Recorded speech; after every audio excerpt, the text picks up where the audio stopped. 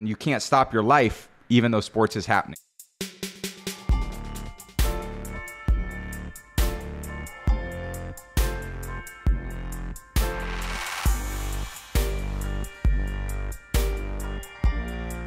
Even though I'm, you know, playing in my 23rd year, I have a freshman in high school that's playing football too. I have, you know, a 12 year old that's going through his life. I have a nine year old that's going through her life. So, and I have parents.